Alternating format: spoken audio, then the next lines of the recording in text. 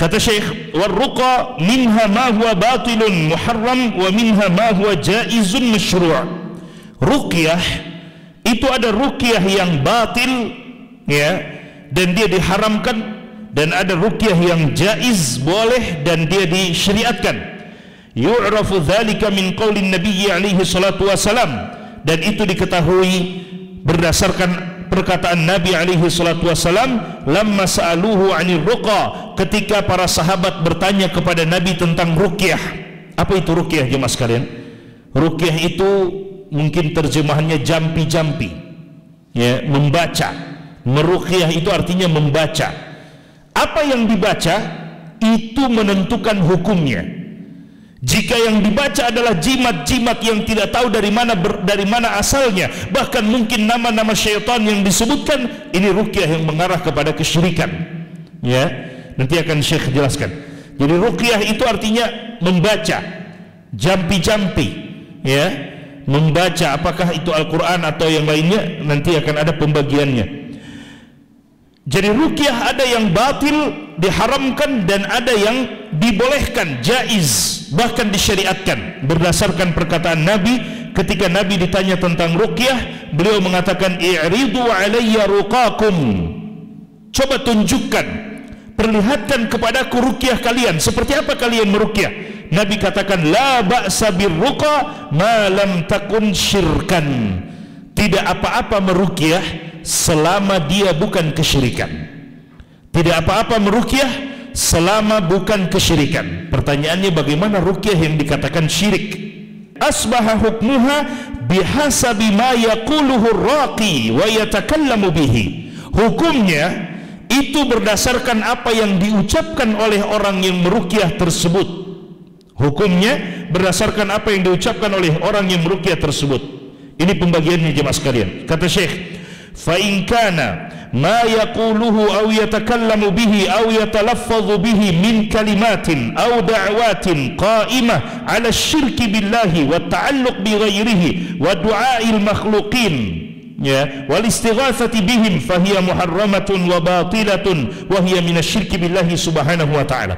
jika Rukyah yang dia ucapkan itu dia baca-baca mantra jampi-jampi yang dia baca-baca itu adalah terdiri dari kata-kata yang merupakan kesyirikan kepada Allah. Jelas kata-katanya adalah kesyirikan. Atau yang kedua at-ta'alluq bil makhlukin kata-kata yang menunjukkan dia bergantung diri kepada makhluk bukan kepada Allah Subhanahu wa taala. Makanya orang berukyah orang merukyah pun itu jemaah sekalian dia betul-betul harus kuat akidah ketika merukyah karena jin bisa saja menjerumuskan dia dan itu sering sekali. Jin itu pintar. Mereka ingin menjerumuskan orang yang merukyah. Kadang sudah dibacakan, sudah dibacakan, jin ini tidak bisa berbuat apa-apa lagi, merasa sangat kepanasan. Kadang ada jin yang merasa sangat kedinginan. Ya, di dalam neraka bukan hanya api yang membakar, ya, yang menyiksa penduduk neraka, tapi ada juga neraka yang siksaannya adalah dingin, yang sangat menusuk, mematikan. Kadang ada jin dibacakan kedinginan sekali, kadang ada yang kepanasan, kalau mereka sudah tidak tahan kadang mereka akan menjerumuskan orang yang merukyah. Sudah sudah saya minta ampun saya minta ampun. Minta ampun kepada perukyah. Kalau si perukyah ini tidak kuat akidahnya iya saya ampuni kamu. Siapa kamu mengampuni dia? Ya di sinilah jin akan justru bertambah kuat. Ah saya dapat kamu. Saya minta ampun atau tolong ampuni saya tolong ampuni saya. Kamu sangat kuat dan seterusnya. Ya itu kadang jin bisa mempermainkan seperti itu jemaah sekalian. Kata Syekh rukyah yang pertama adalah rukyah yang batilah. Rukyah yang merupakan kesyirikan. Bagaimana kita mengindikasinya adalah ketika rukyah yang dibaca-baca itu adalah mantra-mantra yang tidak jelas bahkan justru mungkin sangat jelas itu adalah kesyirikan. Atau bergantung diri kepada makhluk menggunakan doa-doa dengan nama-nama syaitan dan sebagainya ini adalah rukyah yang batilah ini adalah rukyah yang muharramah, diharamkan. Ini adalah rukyah yang termasuk kesyirikan. Ya. Yang kedua, dan ini yang Syekh maksudkan dalam bab ini.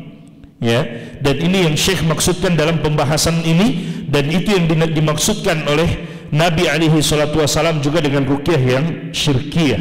Yang kedua, wa in kana kalamin la yufham wa ibarat la yudra kata beliau jika diucapkan dengan mantra atau jampi-jampi dengan kata-kata yang tidak dipahami maknanya.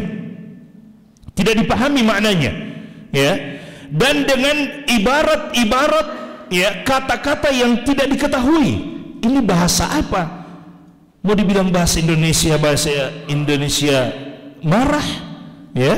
Tidak tahu dia pakai bahasa apa ini. Maka kata beliau hiya fa inna hadza muharramun mamnu' maka ini pun termasuk hal yang haram dan dilarang. Ruqyah yang seperti ini. Dan itu biasanya banyak kepada dukun-dukun